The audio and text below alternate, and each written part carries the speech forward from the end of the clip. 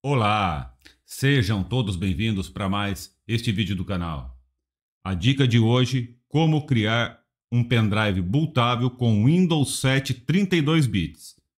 Se você está precisando do Windows 7 32 bits ou do Windows 7 versão completa, fica comigo até o final do vídeo que eu vou ensinar o passo a passo para vocês. Antes disso, gente, por favor, dá aquela moralzinha pro canal, se inscreva no canal, deixa um comentário eu vou ajudar você sempre pessoalmente. Então vamos lá. Primeira coisa que eu tenho que mostrar para vocês é alguma coisa que está saindo na internet aqui, principalmente falando aqui, ó, Windows 7 32, é, Windows 7 versão 32 ou 64, nova versão 2024. Gente, não existe novo Windows 7. Isso daqui que você está vendo aqui ó, na internet, isso é mentira. Não tem o Windows 7. Você acha que a Microsoft vai lançar uma versão nova do Windows 7 em 2024, sabendo que ela vai lançar o Windows 12 eh, no final deste ano ou no começo do ano que vem?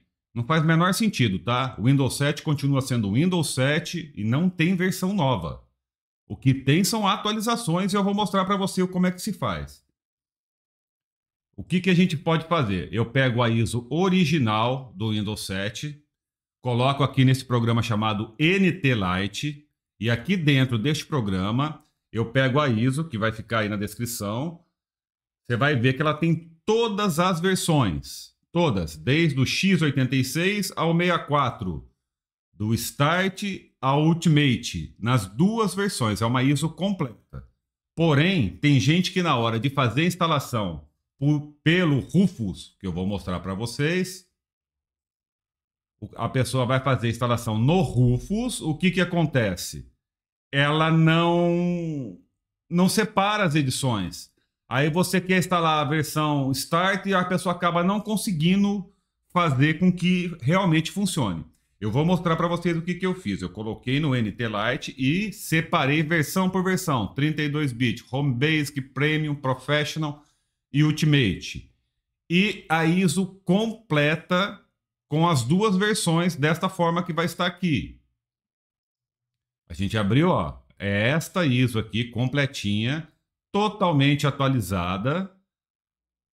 Ou você pode baixar somente a versão que você quer. Como que a gente coloca para atualizar, gente? É só você vir aqui em adicionar atualizações.